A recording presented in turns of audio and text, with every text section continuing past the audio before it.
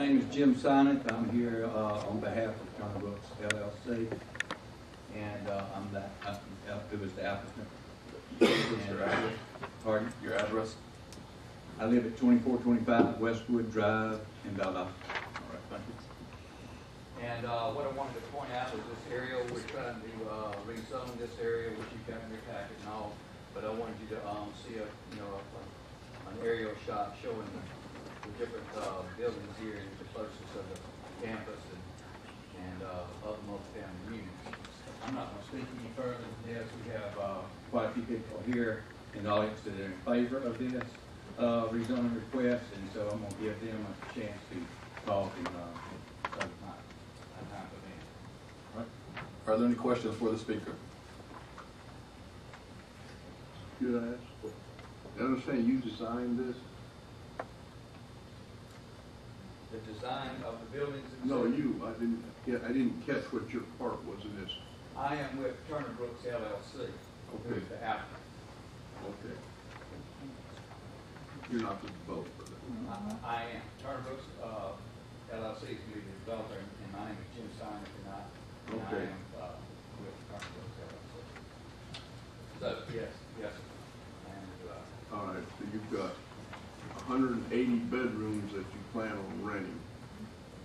out, yes, And you've only got hundred and eighty parking spaces, six of which are gonna be handicapped. So Are you gonna require six of those rooms go to people needing handicapped parking spaces, or is it just well, you know, that's, uh, that design is set up by the architects right now, and engineers, and I'm gonna be following what the regulations require me to do. Mhm. And so, um, we haven't really been able to completely design, engineer everything, because it's pretty good as a conceptual only. To answer your question, there is only hundred and eighty spaces. Um, whatever the handicap requirements is, we will meet, or we will have to. Um, we, uh, are meeting the requirements of the park. Yeah, I was here when we changed those requirements, but I can tell you, at least from my perspective, it was never the intent that each bedroom was going to be an individual rental unit. But be that as it may, uh, it- we've got what we've got. I was just curious, but that parking space seems awful. Okay. Well, again, this is conceptual only. So that's how we check out whether we can improve it, we will. We can improve it by ten spaces or whatever we can do and be within the parameters. I have one question, Okay. and this may be premature, but do you know if the proposed detention pond, if that would be a dry pond or wet pond? I couldn't say right now, again, this is all conceptual.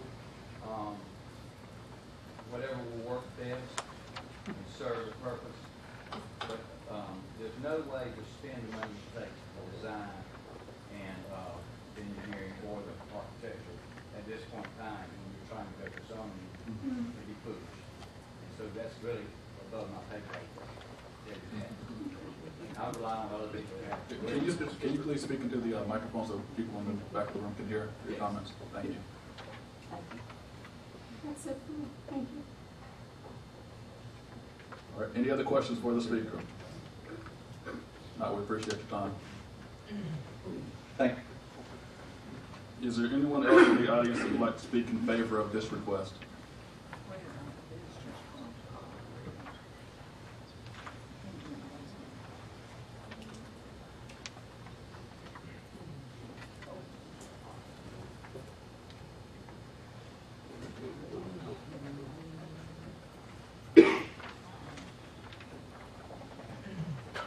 Is Call, eleven oh eight Gornto Road, and I'm here representing all eight parcels and the owners of those parcels in their right to ask for a rezoning for their property. Um, I want to talk about four things, and that's parking, traffic, scale of the building, and the rights of the owners to seek the highest and best use of their property according to the, the LDR that the city and county put forward. Um, that's that way from the mic. Um, regarding the, the traffic, if you just sort of step back and look at human behavior, if these are all, all student housing, and let's say and eighty student housing, because it's all filled in students. You're gonna wake up in the morning, and you go to class, you're not gonna get in your car and drive campus. Because you are on campus, essentially. So, traffic is reduced by students driving through town and through the neighborhoods now to get to the issue. Alright, and then say class is over and you want a hamburger. Not going to go down Drive and look for a hamburger stand. They don't exist. You're gonna get on Bay Tree, and you're gonna drive that to the commercial area. So, just basic common sense tells me that traffic will be reduced in this area, in the neighborhood area. Um, I can't imagine that somebody would real willfully go back into this area to look for commercial products. Um, it just makes sense that they would turn and go towards the University and Bay Tree or out Bay Tree towards So, I don't think traffic is really gonna be, um, an issue. One of the other, uh, concerns that has been pointed out to you guys is the parking, which Mr. Raker asked about. Um, The assumption here is that every student has a car, and I can tell you that that's just not true. We manage over a thousand rental units in,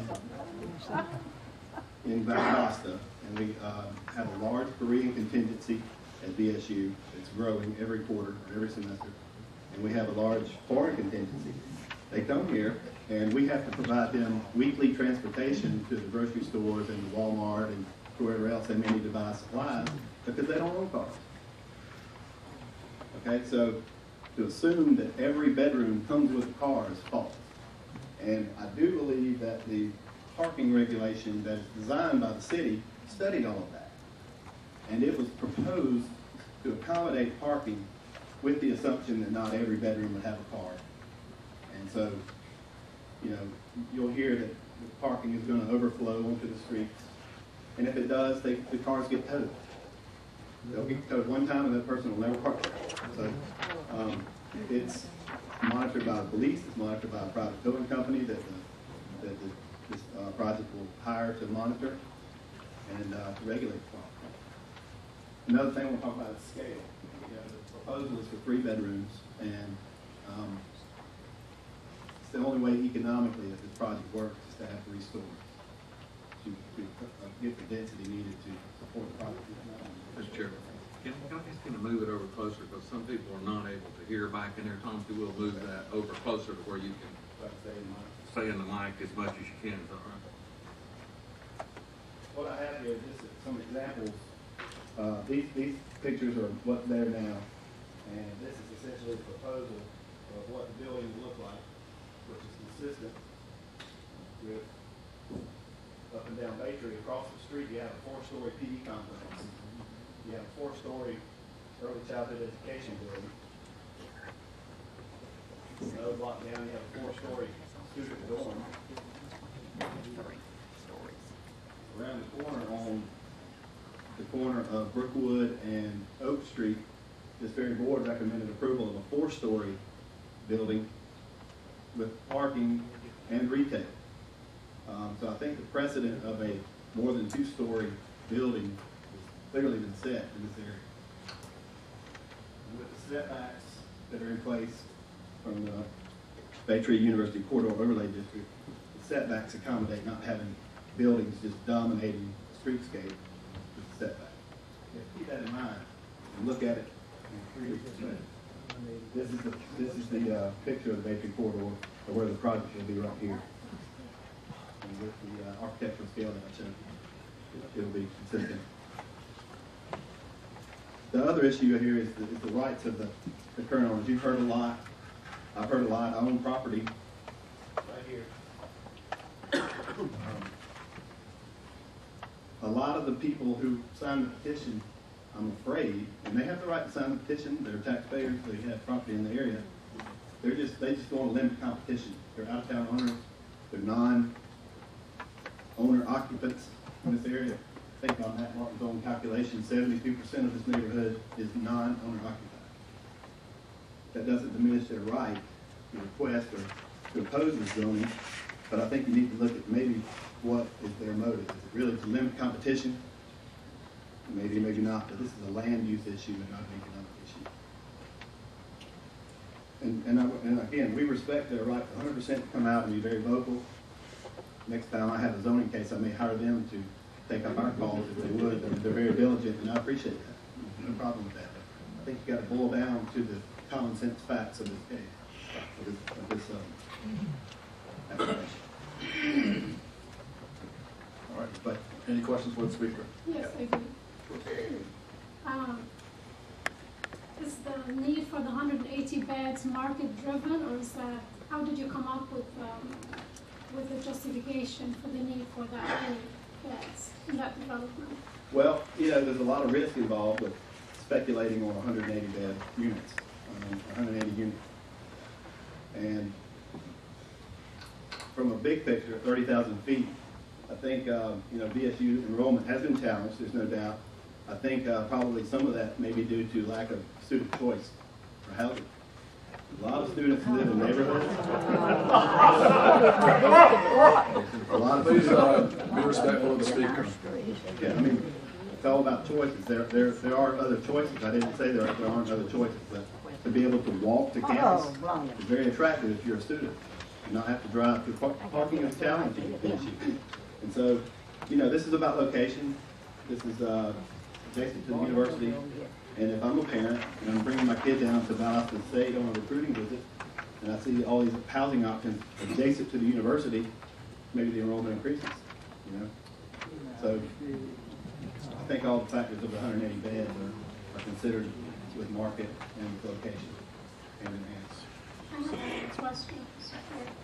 Uh, you mentioned that the PE complex was a four-story structure, that's not true. It might be thirty or forty feet high, but it's a two-story structure. Um, so you can't use that as precedent. Um, you also mentioned another building that had three or four stories. The building that you showed the picture of, the complex across the street, that's a two-story building. The picture you showed was. Okay. Um, you mentioned another dorm. Is that the one on Costello Avenue? No, it's the one on Oak Street.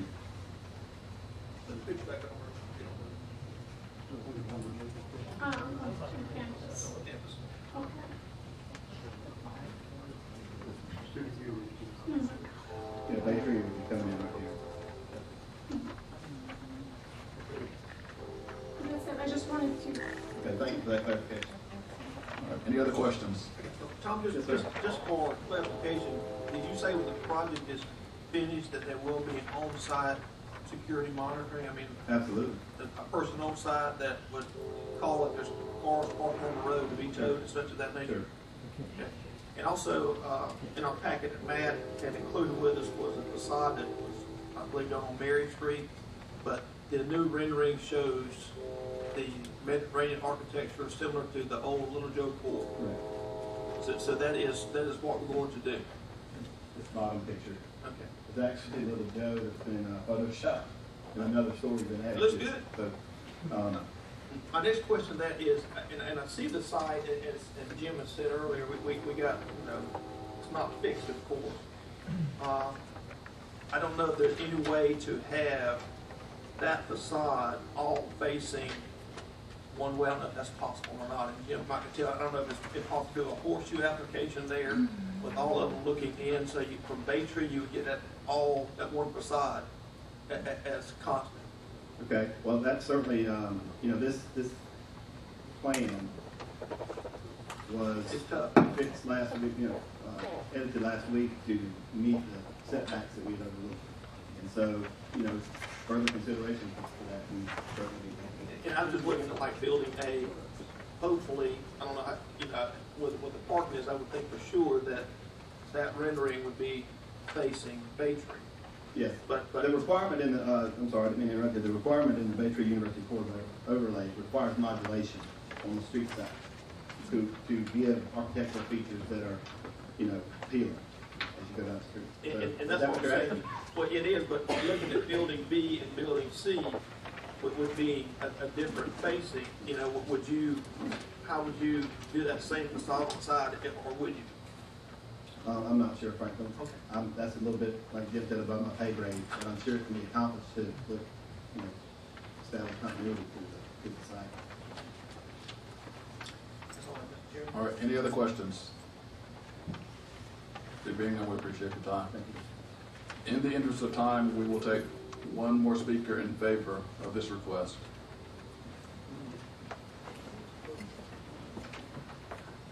My name is Ed Barr. I live at 2609 Green Meadow Drive. Appreciate very much the opportunity to uh, speak for a few minutes today. I'm not in any way connected with this um, development. I'm a property owner. I'm here wishing to sell property to um, the developers. I feel like I have a very close connection to this neighborhood and that my family built a house there in 1949. We moved in in 1950. I lived in that house from 1950 to 65, and I rode my bicycle to Valdosta High School and walked to VSU, and I'm still very close to the neighborhood and um, still own the house. Um, For full disclosure, I will say it's 150 feet north of the uh, neighborhood in question, but it's on Azalea. That's the neighborhood that I grew up in, my friends lived in, I delivered the paper in, and probably in at one time could tell you the name of every person there. And um, when I bought one of the pieces of property, I bought it from Miss Dauber, who built the house. I'm the second owner. I bought it as an investment, and um, she remembered me as her, her paper boy. I came back here in 1974 to work in the music department at Valdosta State. Part of my job was um, recruiting music students. It was very important when I um, had a student visit that they were positively impressed by the look of the campus.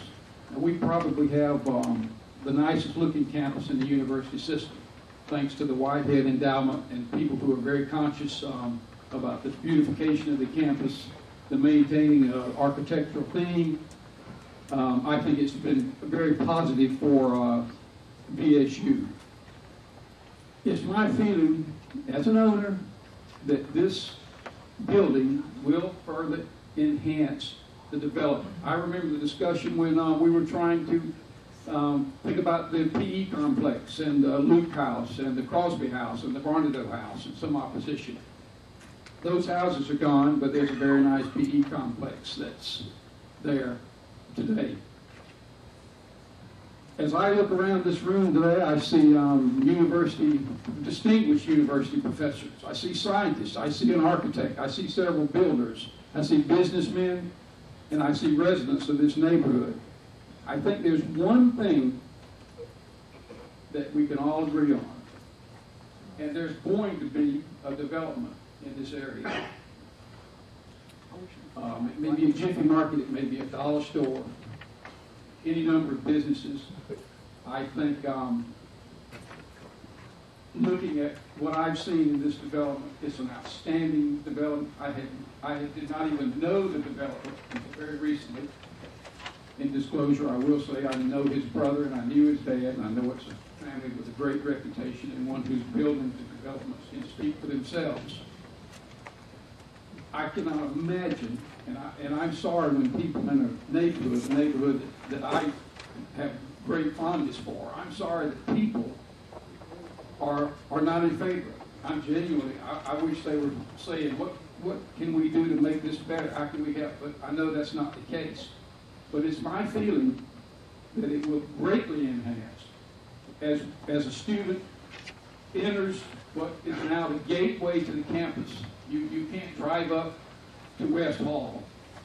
You can drive, you can see a nice view rather than seeing five rental properties that are um, not in the best condition now, or very nice building, matching architectural theme, new, I think it would uh, greatly, greatly enhance. And as I said, I think that's the one thing that we can all agree on, that there will be a development there. And um, what Mr. Sineth is willing to do, I think should be given every consideration. Thank you very much. Any questions for the speaker? If not, we appreciate that. Uh, We took about 20 minutes for those speaking for, and so we will allot 20 minutes for those speaking against uh, this application. But if there's anyone in the audience who would like